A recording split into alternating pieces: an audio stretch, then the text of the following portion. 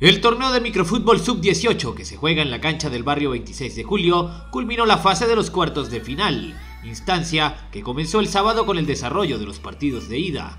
Anoche el escenario presentaba un lleno total para observar los encuentros de vuelta en una jornada que dejó como resultado a los cuatro equipos clasificados a las semifinales.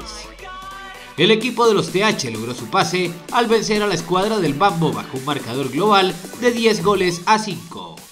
Están buenos los equipos, están bien armaditos. Este, tenemos buen equipo nosotros también. Pues esperamos enfrentarnos con un equipo bueno. El año pasado nos quitaron el triunfo, el otro equipo, pero este año sí, la final. Volvimos a quedar este año, esperemos quedar este año también de final, en la final. Sí, ser campeones.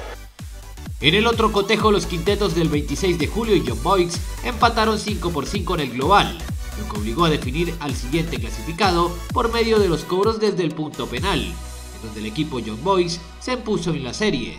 De igual forma, el conjunto del 26 de julio, por ser el mejor perdedor, también clasificó. Las llaves semifinales quedaron de la siguiente manera.